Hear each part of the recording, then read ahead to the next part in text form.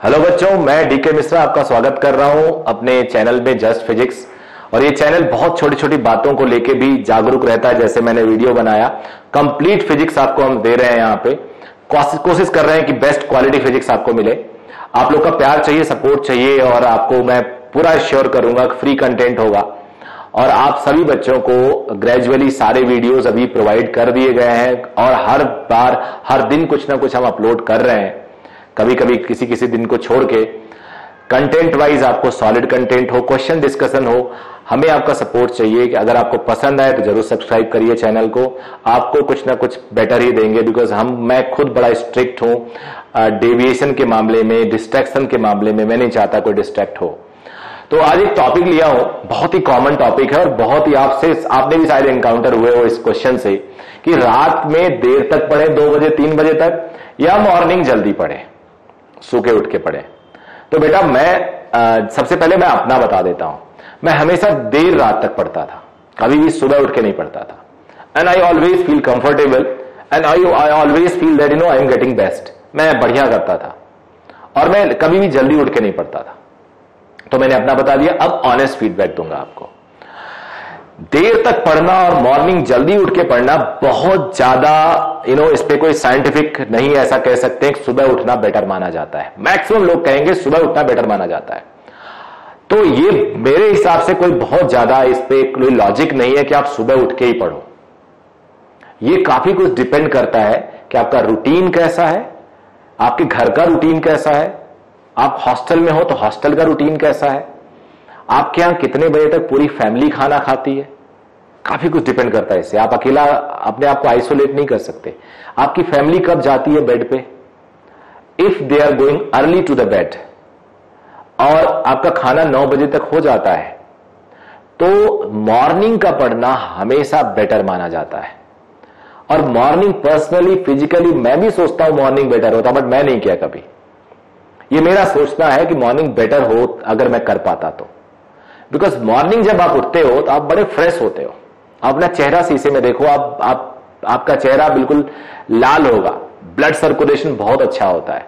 और नेचर भी यही कहता है। जब आप ग्रेविटी के ऊपर जाते हो ना, जो आप पहाड़ चढ़ते हो तो मुश्किल होता है सीढ़ियाँ चढ़ते हो। Because you are moving against the gravity और अगर आप पहाड़ से उतरते हो तो you are moving towards the gravity और इजी होता है। तो ऐसे केसेस में, आप अगर लेट नाइट सोते हो तो नेचर कहता है, सो जाओ। और आप नेचर से लड़ रहे होते हो। तो जब आप नेचर से लड़ रहे होते हो तो in fact you are fighting with two things one with nature other with your study study कभी पसंद नहीं आता किसी को, थोड़ा बहुत बोरियत होती है। तो आप हैवी कॉन्सेप्ट एक लिमिट के बाद नहीं सीख सकते इवनिंग लेट इवनिंग में।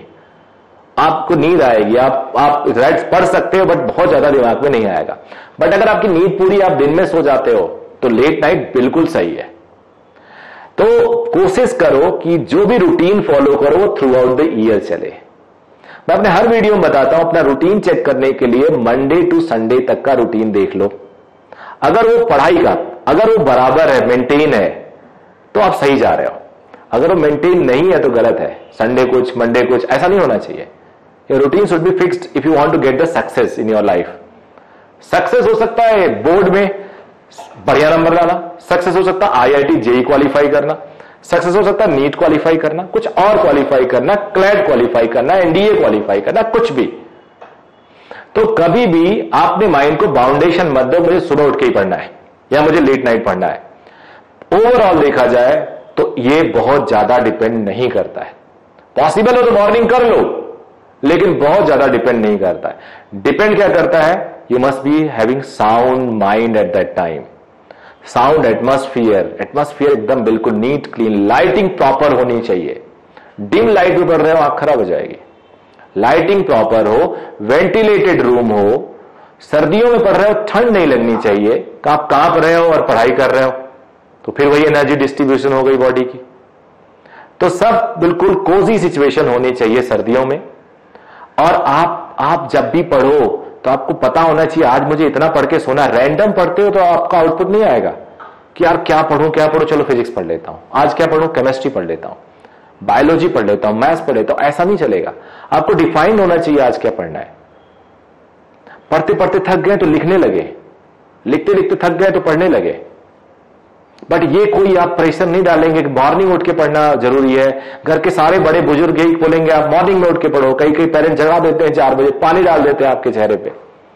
आपकी चद्दर फेंक देंगे उठा के, उठ जा, धमकाएँगे, थप्पड़ मारेंगे। लेकिन बेटा, अगर आपका रिज़ल्ट अच्छा आने लगेगा सब शांत हो जाएँगे। पूरी दुनिया सिर्फ़ रिज़ल्ट देखती है। आपके एफर्ट को तब अप्रिसिएट किया जाता है जब आप रिज़ल्ट अच्छा देते हो। कई कई बार आप एफर्ट करते हो रिज़ल्ट नहीं आता तो बहुत क्लोज सर्कल के लोग ही आपको अप्रिसिएट करते हैं अदरवाइज़ कोई अप्रिसिएट नहीं करता। तो आपका अपना रूटीन होना चाहिए शुड बी द बेस्ट और जो भी पढ़ो प्रॉपर पढ़ो। डिस्टर्ब अपने आप को मत करो। आई होप एक छोटी सी बात आपको हेल्प की होगी। Thank you very much and आप इसे बेनिफिट उठाते रहना। Thank you